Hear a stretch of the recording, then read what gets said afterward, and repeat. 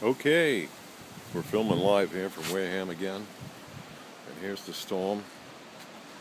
About 11 o'clock this morning. You see the waves out there? They don't usually come from that direction.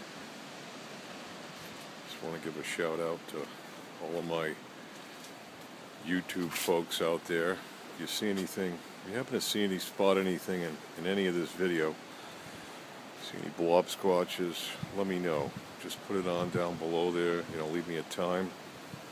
You happen to spot anything. I mean, you never know what's going to happen in these films. I, I don't always see it with the human eye, but sometimes you pick it up on video. I just want to show you people that you don't think the wind is not strong here. It really is. You can see right here. You look at look at these. There's holes in this plywood where there's actually the the rain has come in and actually cut the line, the water, and pieces of plywood are just flying out of here. Oh, there goes one now. There goes another one. The wind is incredible. You can see there's holes right here where the, the rain has just cut a hole right through. Unbelievable. The wind is unbelievable.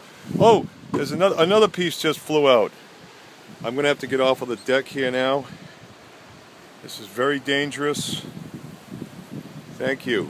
Reporting live from Wareham.